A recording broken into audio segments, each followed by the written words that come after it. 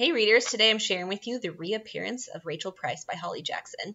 Uh, Holly Jackson's newest thriller is fascinating. It's about a family who uh, the mom slash wife was disappeared 16 years ago. So our main character, Bear, Belle, and her father have actually been um, asked to do a documentary about this disappearance of their mother. It was like one of those cases that just caught everyone's attention. She just sort of like vanished, not once but twice that day, um, and everyone's trying to get to the bottom of it. Her dad was originally like tried for the um, murder of the mom um, and was found innocent by a jury, but it's of course like left these scars, right? Like they've had to deal with a lot of people thinking like maybe he's responsible but meanwhile, like he's Belle's whole world. Like he's the one who's like raised her, got her through all this. The mom disappeared when she was two, so like Belle doesn't really even remember her.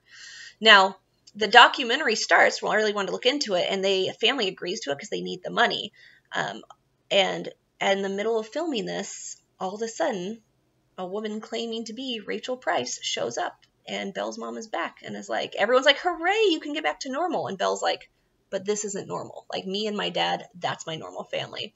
And something seems off about the woman, and Belle is like determined to get to the bottom of it. She's like, this things aren't like what they seem. This woman has to be lying. She can't be telling the whole truth.